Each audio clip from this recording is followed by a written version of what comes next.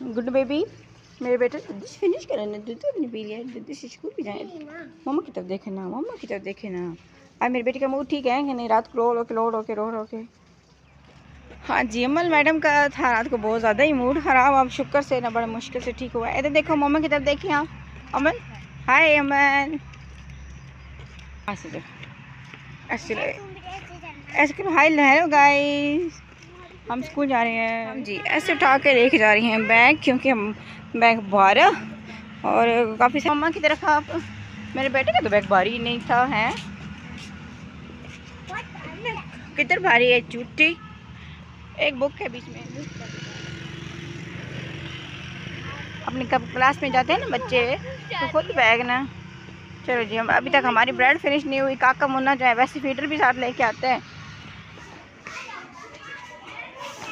हाय मेरी बात सुनो। मेरे बेटे ने अपनी क्लास में बैठना है ओके होमवर्क भी करना है टीचर के दिखाना भी है। ऐसे ना करो ना। हलीम की क्लास में। नहीं बैठना। अपनी क्लास में मेरे बेटे ने बैठना है वो होमवर्क करना है ओके मैं जा रही हूँ ठीक है? बाय बाय हाय हाय वालेकुम जी। हाँ जी आज हम बच्चों को छोड़ आए हैं स्कूल में और बहुत मौसम का मौसम है। ऐसा लगता है बारिश होने वाली है। सर्दियों वाले मौसम बना हुआ है। निक्की निक्की जैसे ठंड बनी हुई है।